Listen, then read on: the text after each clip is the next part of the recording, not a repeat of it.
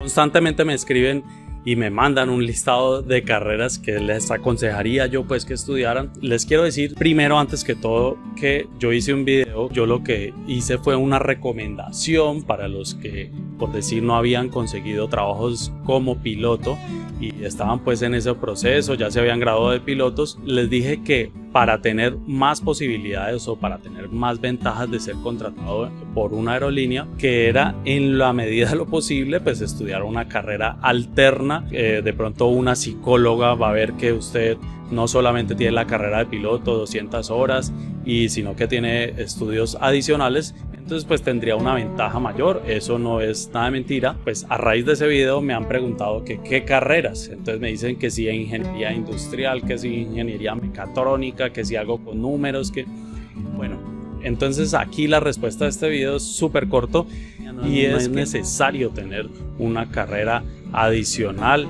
No dice ningún requisito, sino que sí es una ventaja. Pero lo que yo recomiendo es estudien simplemente para ser pilotos comerciales, hagan su incorporación. Hay unas aerolíneas que prefieren a personas pues más capacitadas, pero esto no es para todos. Es algo opcional, no es una ley que tiene que tener una carrera alterna porque ya va a ser más apto para ser piloto comercial o ser elegido en una aerolínea. No es así. Es opcional una carrera alterna, ya sea técnica, profesional, lo que sea. Tengo el caso de unos compañeros que salieron con 200 horas y ya están trabajando, son capitanes de Airbus en una aerolínea muy grande en Colombia. Mi recomendación, estudien solamente para ser pilotos comerciales. Si no son contratados en varios años, pues ahí sí ir mirando otras carreras alternas, crecimiento personal o para prepararse para, económicamente para otras cosas. Yo sé que muchos los que dieron clic a este video estaban buscando pues como un listado de carreras alternas, pero no, ya saben,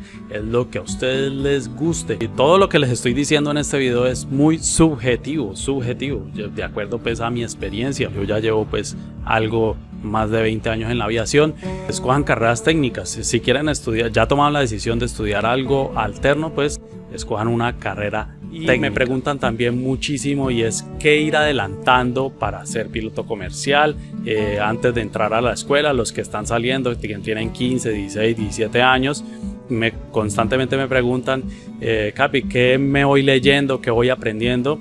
No es requisito, usted puede llegar allá en ceros, usted simplemente va a empezar desde cero allá a estudiar todo. Lo que sí mi recomendación número uno es el inglés uno, el inglés. Dos, vayan preparándose eh, para matemática, que esa, todo el mundo dice que se asusta, que por la matemática no es una matemática básica, básica. no es nada del otro mundo, así que no se asusten.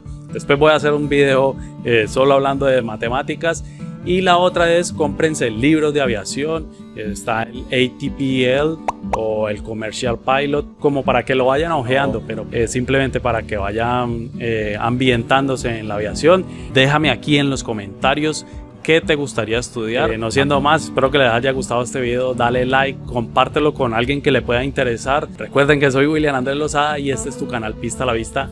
Chao, chao.